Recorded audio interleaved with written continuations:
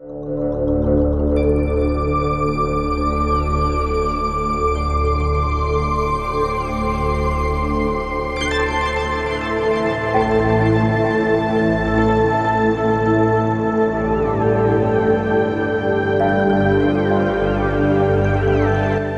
हिम श्रृङ्खलाको काखमा रहेको नेपाल सुन्दरताको अनुपम नमुना हो। हिम श्रृङ्खला हिमताल हिमाली बस्तीहरू एवं हिमाली जनजीवन नेपालको पहिचान मात्र नभएर बहुमूल्य सम्पदा हुन्।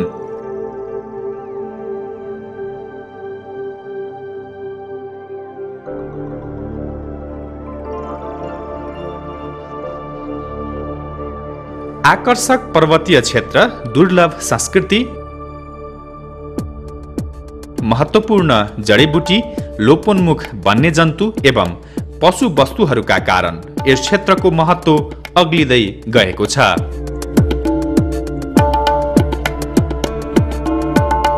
उत्तरी क्षेत्रका हिम श्रृङ्खलाहरू नेपालको ताज बनेर बसेका छन् भने पर्वतीय फाँटहरू छाती बनेर गर्वले फुलेका छन्।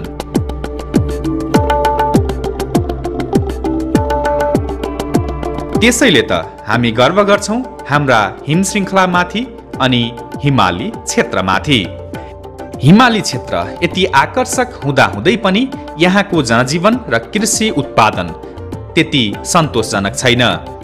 यस क्षेत्रका बासिन्दाहरू यहाँ उत्पादित वस्तुबाट आत्मनिर्भर बन्न सकिरहेका छैनन्। सुन्दरताको प्रतिबिम्ब भए पनि यस क्षेत्रमा उच्च हिमपात र न्यून कृषि उत्पादनका कारण यहाँको बसोबास कष्टकर बन्दै गइरहेको छ। जसले गर्दा यहाँका बासिन्दाहरू क्रमशः विस्थापित हुँदै जाने अवस्थाको सृजना नहोला भन्न सकिन्न।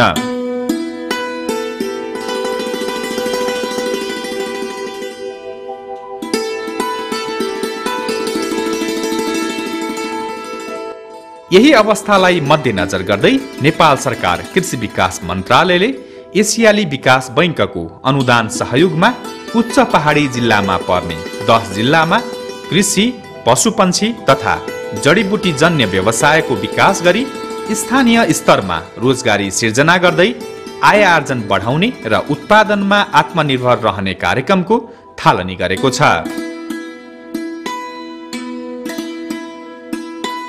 यस आयोजनाले हिमाली भेगमा नाफामूलक कृषिजन्य व्यवसायको विकास हुने र आयोजनाले पहिचान गरेका बाली वस्तुहरू तथा उत्पादनको मूल्य श्रृङ्खला विकास गर्दै वस्तु उत्पादनको मूल्य श्रृङ्खलामा आबद्ध सबैजनालाई लाभ पुग्ने अपेक्षा आयोजनाको रहेको छ।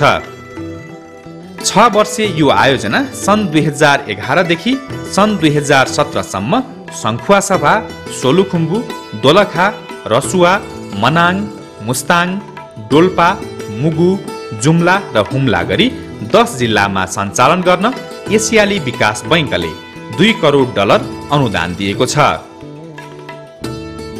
मध्यपश्चिमाञ्चल विकास क्षेत्रमा अवस्थित कर्णाली अञ्चलको उच्च हिमाली जिल्ला हुम्लामा समेत यो आयोजना सञ्चालन भएको छ।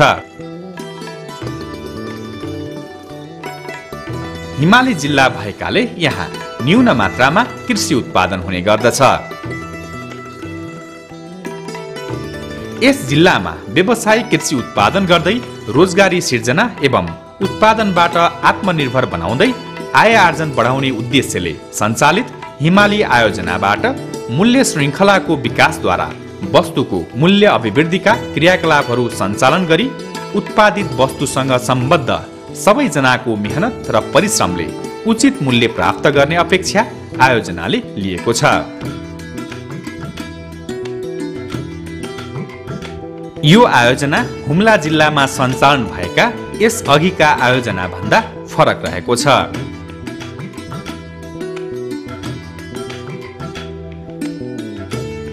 यस आयोजनाले कृषि व्यवसायको विकास एवं उत्पादन वृद्धि गर्ने प्रतिस्पर्धी अनुदान उपलब्ध गराउँदै आइरहेको छ। आयोजनाबाट अनुदान प्राप्त गर्न कृषि व्यवसायीले व्यावसायिक योजना तयार पारी आयोजनामा अनुदान माग प्रस्ताव पेश गर्नुपर्नेछ। आयोजनाबाट अनुदान प्राप्त गर्न हुम्ला जिल्लामा कार्यक्षेत्र रहने गरी दर्ता भई सञ्चालित भएका र हिमाली उत्पादनमा आधारित कृषि व्यवसायीहरूले आवेदन पेश गर्न सक्नेछन्। यस कार्यक्रममा हुम्ला जिल्लामा उत्पादन हुने उन याक चिज डेरी मासु फलफुल तरकारी तरकारी बिउ जडीबुटी वन पैदावार कृषि पर्यटनलाई समेत समेटिएको छ। त्यस्तै बाख्रा पालन भेडा च्याङ्रा पालन चौरी पालन माहुरी पालन स्थानीय कुखुरा पालन लगायतका कार्यक्रमहरूमा पनि आयोजनाले अनुदान दिने गर्दछ। हुम्ला जिल्लामा मात्र करिब तिन सय पचासवटा व्यावसायिक प्रस्ताव पेश भए पनि अध्ययन र अनुसन्धानबाट करिब छब्बिसवटा प्रस्ताव पास भई अनुदान प्राप्त गरिसकेका छन् भने बाँकी प्रस्तावहरूको छनौट हुन गइरहेको छ। हाल छनौट भएका कार्यक्रमहरूमा भेडा तथा च्याङ्रा पालन बाख्रा पालन चौरी गाई पालन स्याउ उत्पादन तथा भण्डारण ग्रिन हाउसमा बेमौसमी तरकारी उत्पादन रहेका छन्। परियोजना लागू भएदेखि अहिलेसम्म तिन सय पचासवटा चाहिँ व्यवसाय योजनाहरू यहाँबाट तयार भएर हरियर भवन चाहिँ हामीले पठाउन पठाएका छौँ। त्यसमध्ये चाहिँ छब्बिसवटा चाहिँ प्रपोजलहरू लगभग एग्रिमेन्ट भइसकेका छन् भने बाँकी चाहिँ बाँकी प्रपोजलहरू यो कुनै चाहिँ बिल फेरि फिल्ड भेरिफिकेसनमा छन् कुनै चाहिँ सम्झौता हुनु बाँकी छन् कुनै चाहिँ अहिले मूल्याङ्कन हुन बाँकी रहेको अवस्था छ।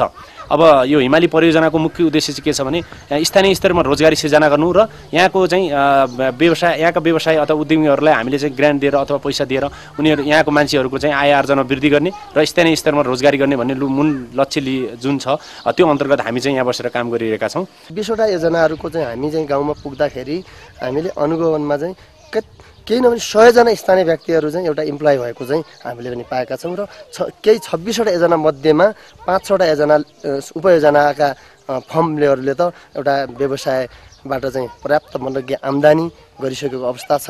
यो सकारात्मक पक्ष हो। प्राय वर्षातको समयमा मात्र तरकारी उत्पादन हुने हुम्ला जिल्लामा यस आयोजनाको अनुदान प्राप्त गरी निर्माण गरिएका ग्रिन हाउसबाट बेमौसमी तरकारी उत्पादन समेत भइरहेको छ। म पहिलादेखि व्यावसायिक तरकारी खेतीमा लागे तापनि पहिला हाम्रो हिउँदको टाइममा तरकारी हुँदैन थियो र हिउँदको टाइममा पाँच पैसा आम्दानी हुँदैन थियो। अहिले हिमाली कार्यक्रमले गर्दाखेरि अहिले हिउँदमा पनि सधैँ हराभरा भएर अब डेली केही नभए पाँच छ सय रुपियाँ दरले आइरहेछ। भनेपछि अब डे चार पाँच सय रुपियाँ रेसीमा गर्दा चार पाँच सय रुपियाँ आइरहेछ भने महिनाको पन्ध्र सोह्र हजार रुपियाँ हुन्छ।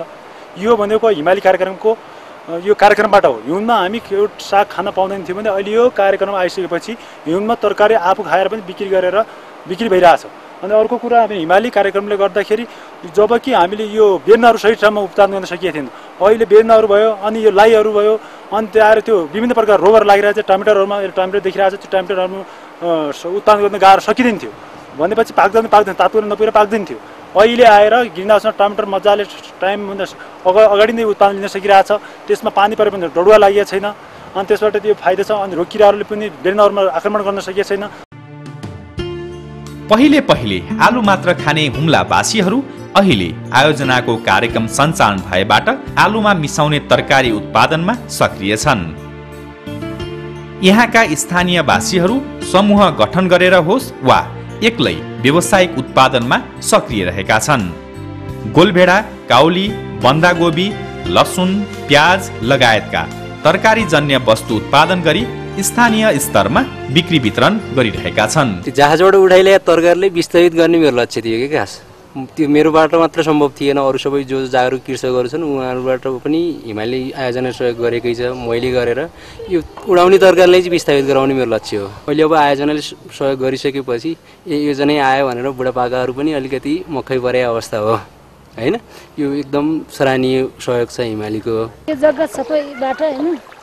खाइ पी गरेर पनि नेपालगञ्ज पठाएर पनि काठमाडौँ पठाएर पनि यो पुरै जग्गाबाट हामीले गिरिङ हाउसबाट खाइ पिएर पनि एक एक लाख बढी बढी हुन्थ्यो। अहिले त अब हिमालीले दुईवटा गिरिङ हाउस दिएछ। अझै पनि होला भन्ने मलाई दुई तिन लाख जति होला भन्ने मेरो मनमा छ। मेरो यसमा साढे दुई कट्टा जग्गा छ दुईवटा गिरिङ हाउस छ।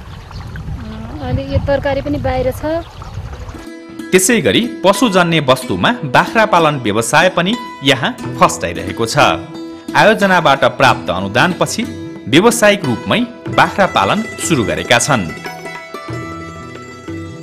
यस आयोजना अघि चाइनिज खसीको खपत हुने यस जिल्लामा हाल स्थानीय पशुपालन किसानद्वारा पालिएका स्थानीय खसीहरूको माग बढेकोमा कृषकहरू पनि खुसी नै छन्।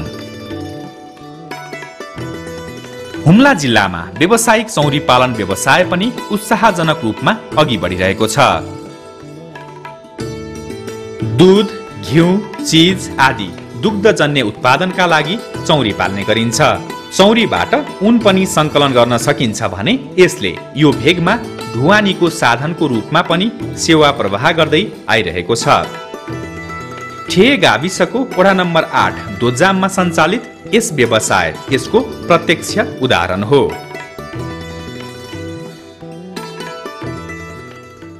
उहाँहरूले दिनुभएको छ कि बिस लाख बिस लाख सन्ताउन्न हजार उहाँले दिनुभयो।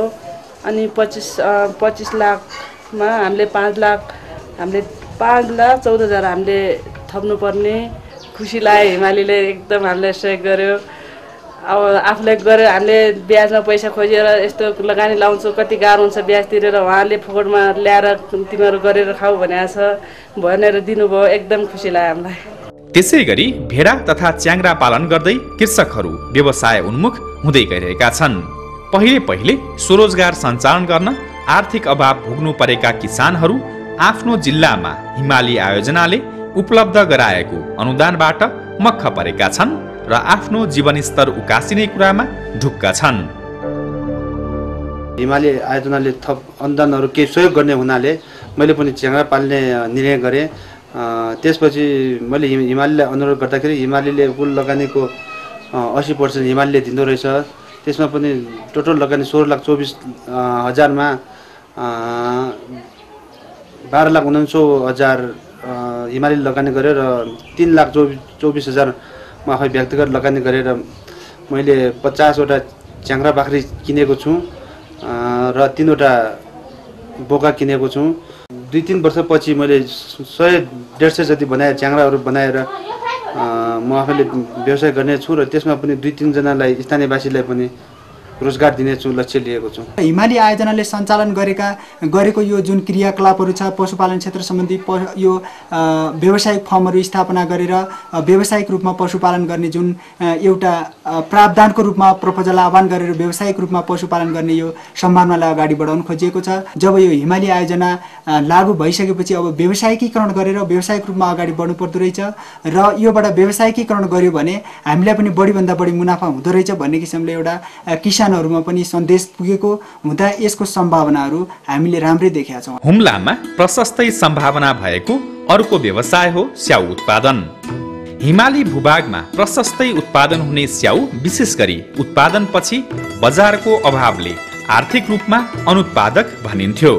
सबै रुखमा एकै समयमा फल लाग्ने र एकै समयमा टिप्नु पर्ने अवस्थाले किनेर खाने प्रचलन नै थिएन। फलफुल भरिमै उत्कृष्ट फलको रूपमा प्रचलित स्याउ बजार र भण्डारणको अभावमा मूल्यहीन अवस्थामा थियो। आयोजनाले स्याउ उत्पादन र वितरणबाट राम्रो आय आर्जनको सम्भावना देखेर भण्डार गृह निर्माण गरी किसानहरूलाई हौसला थपिदिएको छ। यसका प्रत्यक्ष उदाहरण हुन् सिमकोट पाँच हुम्लाका गगन सिंह रावत।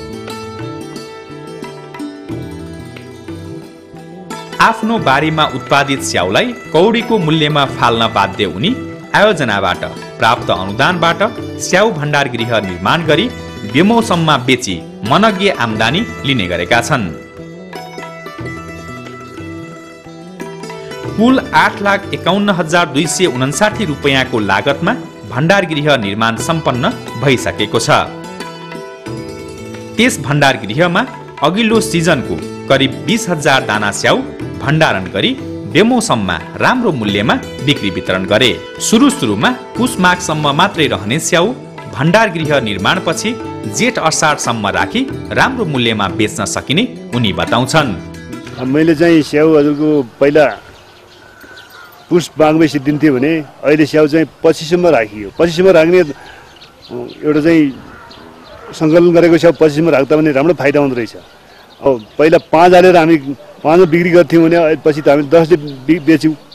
दसले बेच्दाखेरि त हामीलाई चाहिँ अब करिब करिब बिस हजार दाना राखेको बिस हजारहरूको त्यही हिसाबले चाहिँ बिस हजारले एक लाख पर्छ भनेपछि पहिला पछि दुई लाख रुपियाँ आयो एक लाख रुपियाँ मलाई प्रष्ट फाइदा भयो। दुई हजार त्रिचालिस सालबाट स्याउ खेती थालेका उनले प्रति वर्ष आफ्नो र छिमेकीको गरी करिब तिसदेखि चालिस हजार दाना स्याउ भण्डारण गर्ने उद्देश्य लिएका छन्। भण्डारण गरिएको स्याउको बजार पनि राम्रो भएको उनको धारणा छ। सिमकोट स्याउ उत्पादन तथा प्रशोधन केन्द्रको नाममा सञ्चालित यस भण्डारण गृह निर्माण गर्न आयोजनाले करिब छ लाख एक्कासी हजार रुपियाँ अनुदान उपलब्ध गराएको थियो। आयोजनाले सेलार स्टोर निर्माण स्याउ भण्डारण एवं स्याउ संरक्षणको उद्देश्य राखेर सो अनुदान रकम उपलब्ध गराएको थियो। हुम्ला आफैमा विकट जिल्ला भए पनि यहाँ उत्पादन हुने दुर्लभ जडीबुटीको कारण यो जिल्ला चर्चामा छ। चाहिँ व्यापक रूपमा यो खेती चाहिँ बढाउनु पर्यो त्यसपछि कति हुनसक्छ त्यो अनुसारको चाहिँ के अरे प्रशोधनको केन्द्र गर्न सक्यो भने त्यो राम्रो कुरा हो कि? यहाँका मान्छे रोजगारी पाउँछन् यहाँ जडीबुटीहरूको चाहिँ प्रबन्धन हुनसक्छ यस्ता प्रकारका जडीबुटी उत्पादन बिक्री वितरण एवं संरक्षणको उद्देश्यले आयोजनाले कार्यक्रमको थालनी गरेको छ। समग्रमा हुम्ला जिल्लाको माटो र हावापानीमा उत्पादन हुने सबै प्रकारका उत्पादनहरूले राम्रो बजार पाउने सम्भावना छ। आवश्यकता छ त युवा जोस अनि सोचको। यहाँ उत्पादित कृषि पशुजन्य तथा जडीबुटीजन्य वस्तुहरूको वितरणको उचित व्यवस्था मिलाइएमा राजधानी लगायत अन्य सहरी क्षेत्रमा यसको माग उच्च रहनेछ। यसमा स्वयं हुम्लेली जनताको ध्यान जानु जरुरी छ। त्यसका लागि आयोजना जस्तो सुकै सहयोग गर्न तत्पर रहेको छ। हुम्लामा हालसम्म अहिलेसम्म तिन सय सडचालिसवटा यो कृषिजन्य विभिन्न व्यवसाय योजनाहरू प्राप्त भएमा हाम्रो एक्कासीवटा मूल्याङ्कन भएर सत्ताइसवटासँग अनुदान सम्झौता भएको छ र हुम्लामा तुलनात्मक रूपले सानो लगानीको व्यवसायहरू छन्। र अहिलेसम्म हुम्लामा दुई करोड नब्बे लाख जति हामीले अनुदान यो सत्ताइसवटा व्यवसाय योजनाहरूमा अनुदान उपलब्ध गराउने सम्झौता भएकोमा हालसम्म एक करोड बाह्र लाख रुपियाँ हामीले शोध गर्न दिएका छौँ। र अन्य जिल्लामा जस्तै अब अलिकति भौगोलिक विकटता को कारणले चुनौतीहरू त छन् तर अहिलेसम्म हुम्ला जिल्लामा हिमालय आयोजनाका क्रियाकलापहरू सन्तोषजनक चलिरहेको हाम्रो मूल्याङ्कन छ समग्रमा हुम्ला जिल्ला हिमाली भू बनोटले जति सुन्दर छ त्यति नै यहाँ उत्पादित वस्तुहरू अमूल्य छन्। यिनै अमूल्य कृषिजन्य पशुजन्य तथा जडीबुटीजन्य वस्तुहरूको व्यावसायिक उत्पादन गरी मूल्य श्रृङ्खला विकासद्वारा वस्तुहरूको मूल्य अभिवृद्धिका क्रियाकलापहरू सञ्चालन गरी सो वस्तुसँग सम्बद्ध सबै सरोकारवालाहरूको आय आर्जनमा वृद्धि गर्दै ती वस्तुहरूको संरक्षण बजारीकरण र वितरणमा सहयोग पुर्याउनु हिमाली आयोजनाको प्रमुख उद्देश्य रहेको छ।